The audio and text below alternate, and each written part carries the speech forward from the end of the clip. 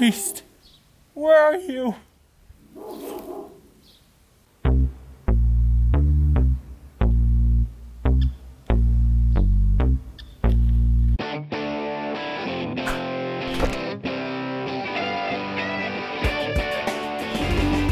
Hello everyone and welcome to the recent review. Today we're going to be taking a look at set number 71314, Storm Beast.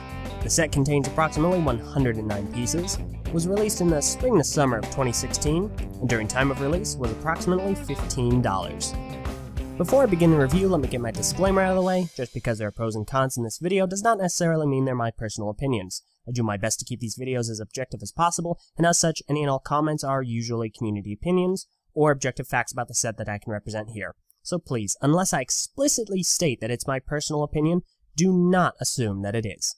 Alright? Awesome. Additionally, I'd like to give a special thanks to our moderator, Political Slime, for purchasing the sets for me, me paying for them, and then him sending them up to me as soon as possible. Greatly appreciate it. Really helped me out. Thanks. Let's get into the review. Start off with the recolors. We actually do have quite a few. Start off with the small stuff. We do have the headpiece, the headpiece we've had all along. We have that new in transparent lime green, and that's kind of cool.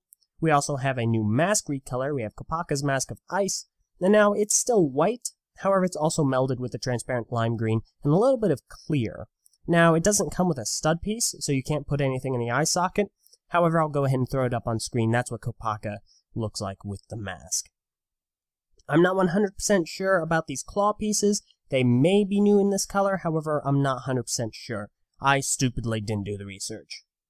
And finally, the big recolor would be the size 4 armor shells. These are new in dark blue. Now, we've gotten dark blue shells before, however, they were the large pieces on Kopaka Uniter's lower arms. This time we have three of these smaller, more versatile pieces, and I'm, I'm sure a lot of people are very happy about that.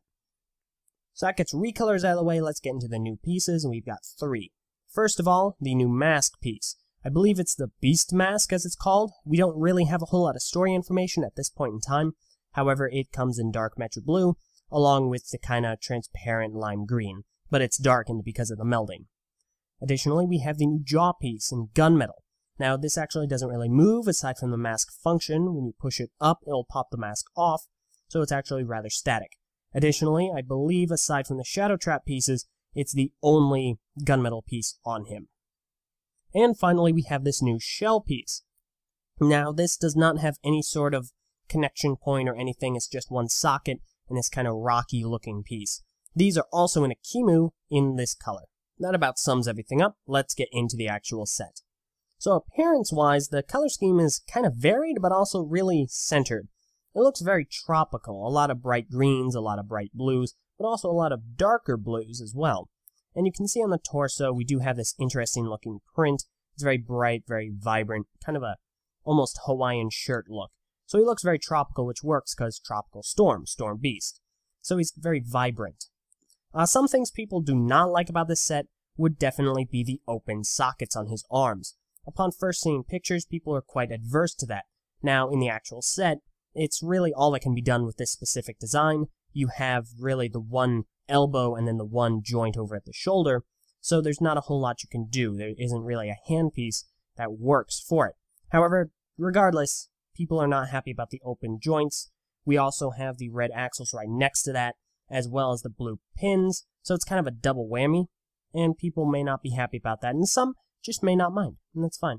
We have this new leg design, and people actually do like this leg design. We have a little additional stability in the back of the feet here, which some may not see as necessary, as the feet are already large enough to be stable. However, some may actually like the filling out. The legs are custom except for the upper legs, and we do have the return of the red axles, so some may not like that because it does not really work with the color scheme. However, aside from those, the legs are actually rather simplistic, rather basic, and just standard CCBS. And I'm talking about the upper legs, not the lower ones, don't get me wrong. As far as functionality is concerned, we actually don't have a whole lot. We do not have the wave function, you know, the hips. Instead, we have very unique function. Like, there aren't a whole lot of functions, generally. However, the one that it does have is quite unique.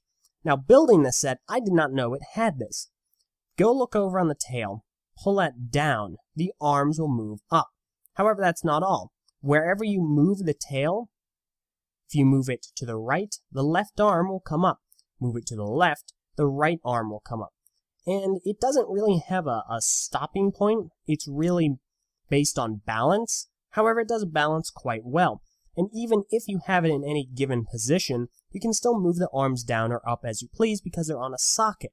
A lot of people really like this. It's an ingenious design, and something we actually have not, at least far as I can think of right now, have not seen in Bionicle, Gen 1 or Gen 2. So the build is actually a lot of fun. It's very creative, very innovative. However, due to that, some may not like some of the gaps that were introduced because of the necessary design. There are some gaps made because of these large black stick pieces, and there are even some gaps over around the neck area. Regarding his arms again real quick, a lot of people actually do not like the fact that A, they're attached to the Sordika necks, which limits to a degree some posability. Additionally, the armor piece being used, it doesn't cover a whole lot of the arm and it kind of just lies there and sticks out and up, and looks somewhat awkward to a lot of people. There could have been more coverage, certainly depending on the piece used, so it does give him kind of this awkward things are growing on him appearance, which to some would clash with the whole tropic storm motif. Back to his tail, he does have two points of articulation. There's one at the base here, and this is not counting the function. Additionally, there's one over here, which has the shadow trap, or at least shadow trap pieces. Now, this is really handy because you can keep the mask trapped there as well and not have a loose piece just kind of floating around. Keeps it rather contained, rather centralized to that one point. So overall, that actually about sums it up. That has been Storm Beast. Uh, everyone actually really seems to like this set. There's a lot of pros to him. He does have a really interesting color scheme. It's very bright, very vibrant. However, additionally, you will find the red pins and axles that are kind of breaking that up. Additionally, his arms are somewhat awkward. A lot of people find them to be somewhat bare bones and kind of MOC-ish in a way. The open ball joints are very unprofessional looking and make the set look somewhat incomplete. However, most people have found that it's not the biggest deal in the world. So that has been Storm Beast. Our personal TTV recommendation is that, yeah, go ahead and buy him. He's actually a lot of fun, the function is really enjoyable, the build is quite a blast, and the recolored parts are phenomenal. They're really great, and if you pick them up, you're going to have a great time MOCing with them.